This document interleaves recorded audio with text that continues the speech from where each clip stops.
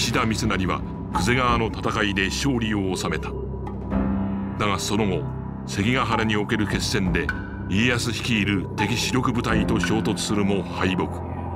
部隊は壊滅し皆散り散りになった。銀千代もまた九州へ逃げ延びた。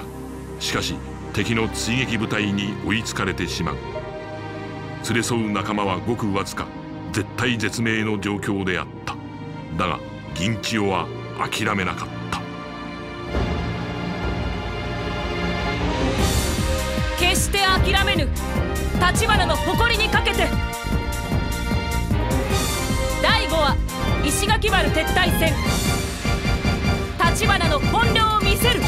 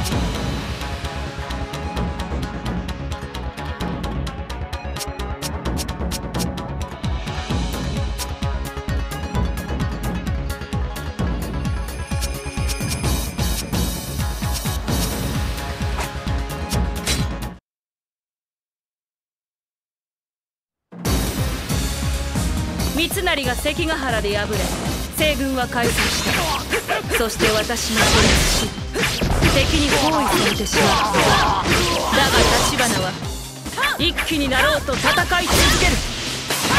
守りを固めろ！城に誰一人として侵入させるな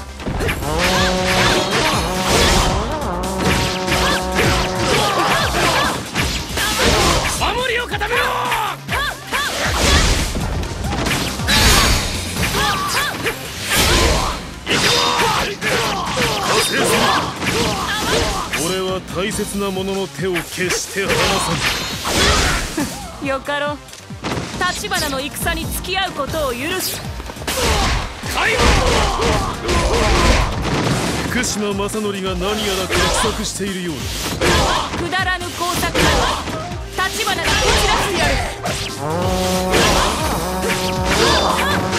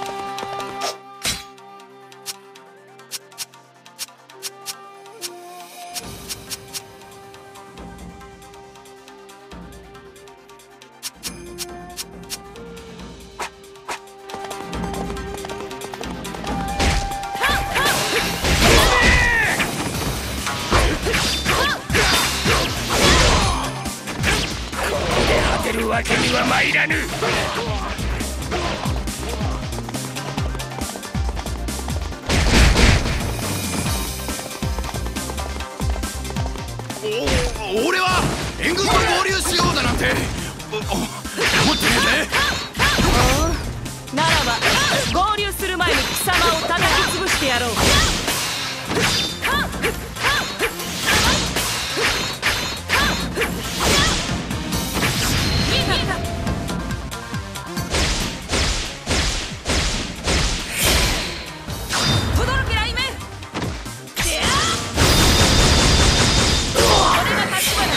お見事。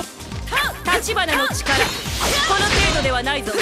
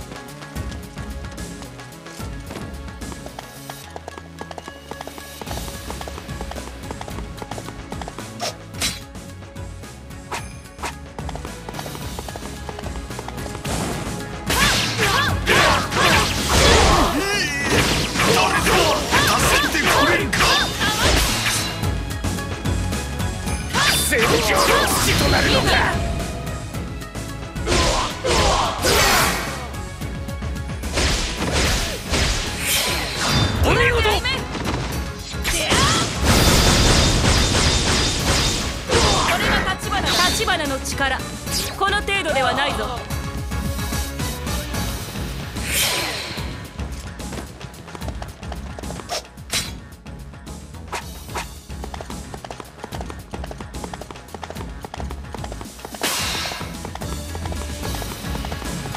お慈悲感謝いたしますぞ。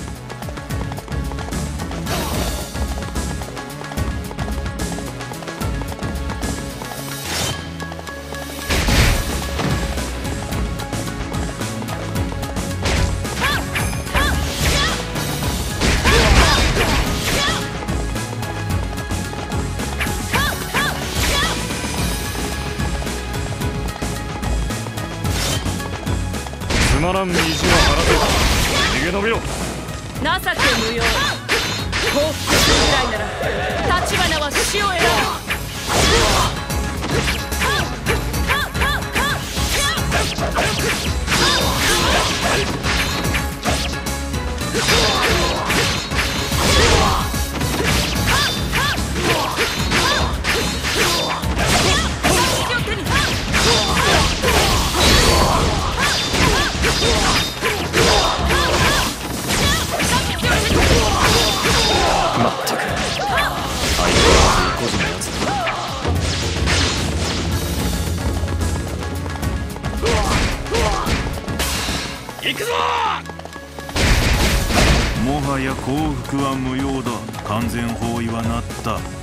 あとは絶望の悲鳴を上げていただこう。死ぬ前にな。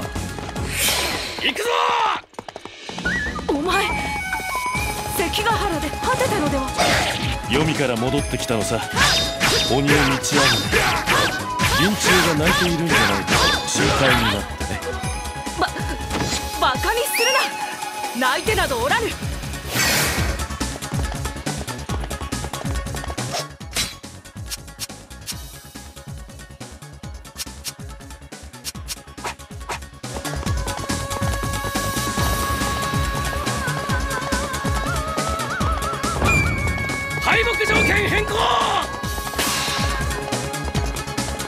まだまだ。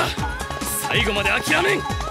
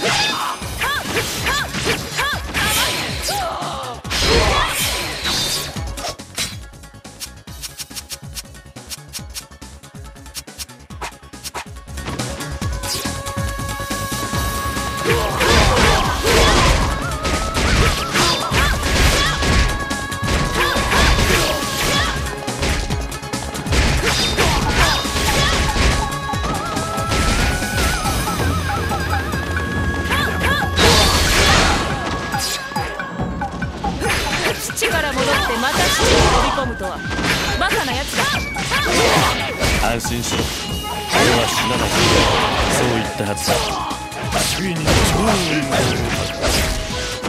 王説の娘よ九州まで来た甲斐があったさあ参られ立花は国を守れてこそ立花足りる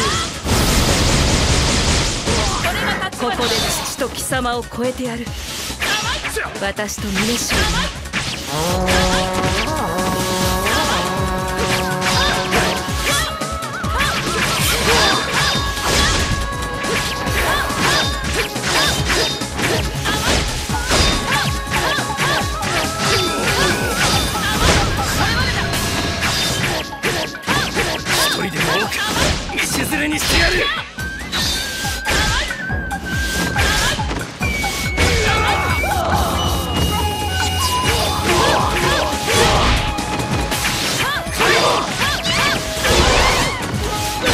宗島今より敵陣を突破するぞ。行こうか共に。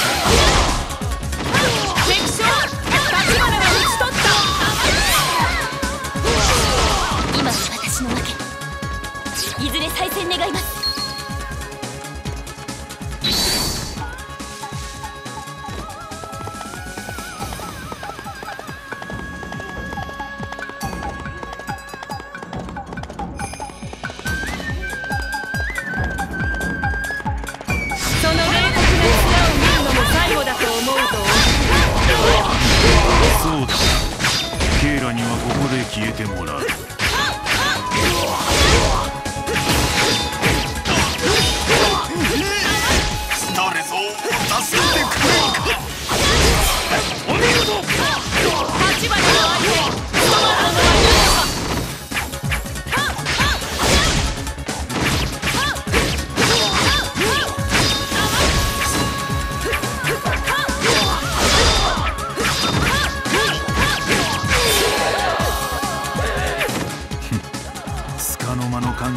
いしれるがいい。ケイラはすでに幾重にも包囲されている。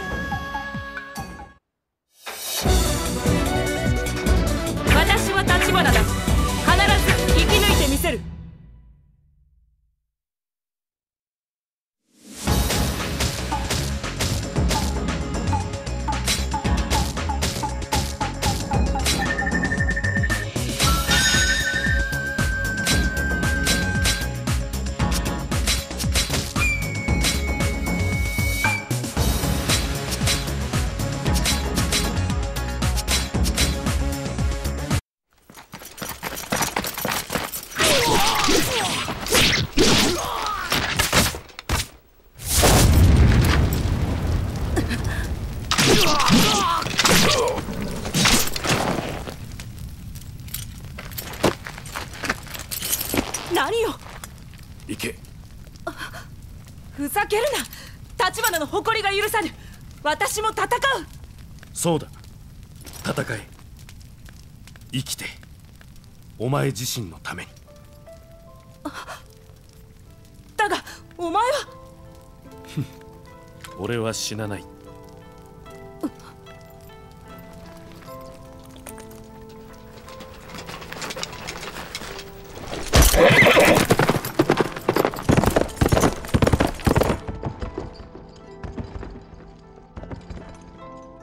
嫌だ。ふ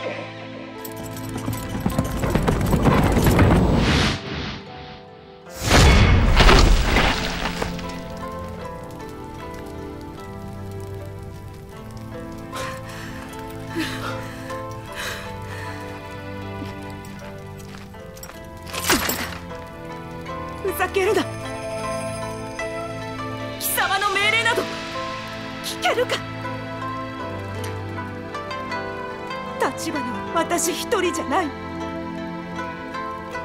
お前を失うことなど私が。